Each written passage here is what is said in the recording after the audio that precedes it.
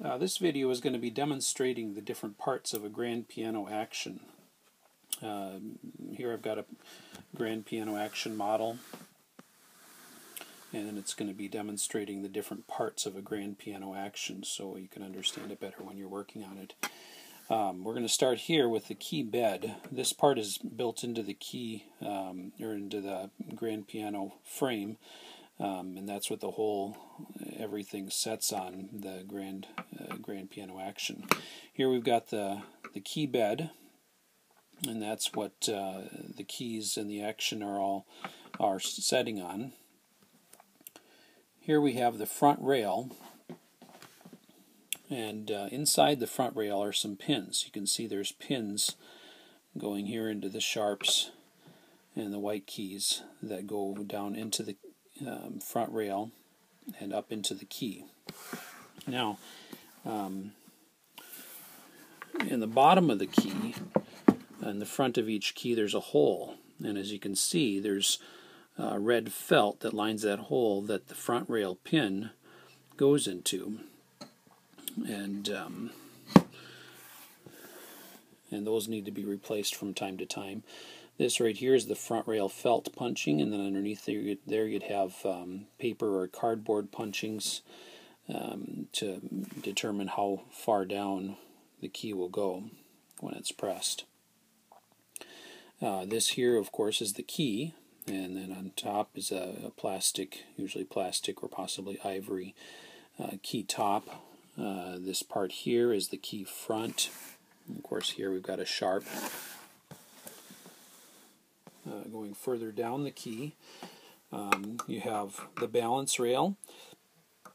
And as you can see up here, this is the top of a pin that goes down through the key into the balance rail. So that's the balance rail pin. And then as you can see up here, there's more felt that lines that hole. Uh, and that's um, more uh, key bushing felt. And then this part right here, as you can see, is a separate piece from the key. That's the key button. Uh, down here underneath, uh, and here we've got a balance rail felt, and of course balance rail punchings. The balance rail uh, paper or cardboard punchings will adjust how high or how low the key is. Okay, so when you're going to level out the keys so that all of these are at the same height, you adjust that by putting more or less paper card paper or cardboard punchings underneath the key on the balance rail pin. As we go further further back, okay, you can see there's um, this thing called a, a whippen. Now you can't see it very well because this is an action bracket, um, but I've got a separate uh, piece here that I'll I can show you. This is a this is a whippen, and of course this would be similar to the one that's in there.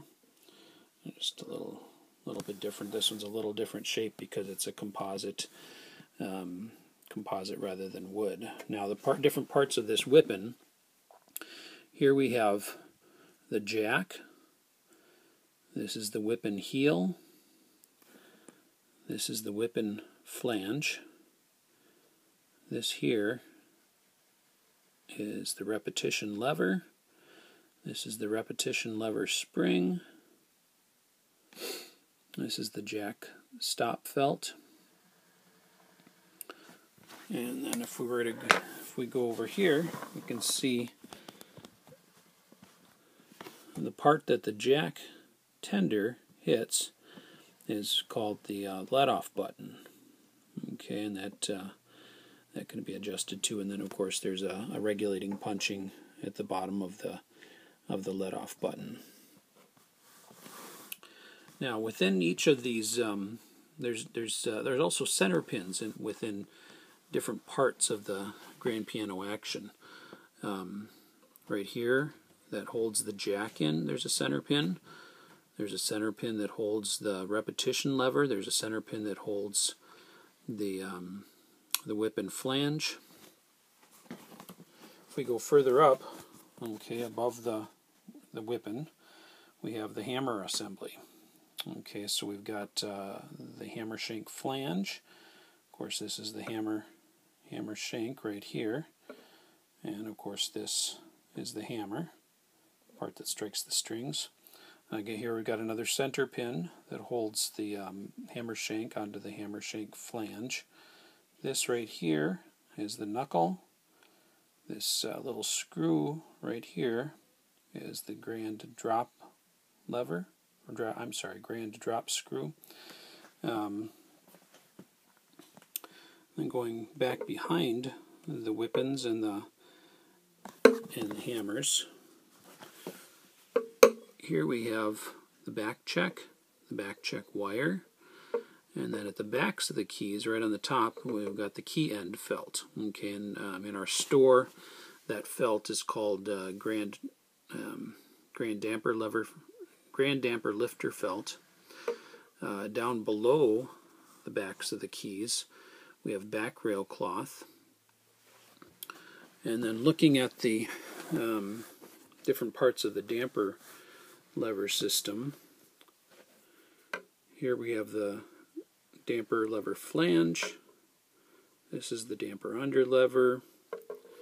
Uh, here's the, we have the sostenuto tab. And this is the damper stop rail.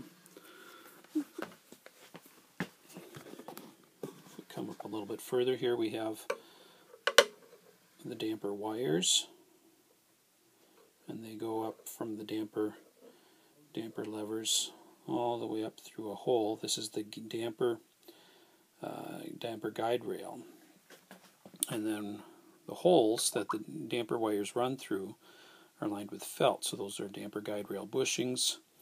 And they'll come up here and attach to the damper lever heads, damper, lever, damper rail felt, or damper felt. And of course these are simulating the strings. So,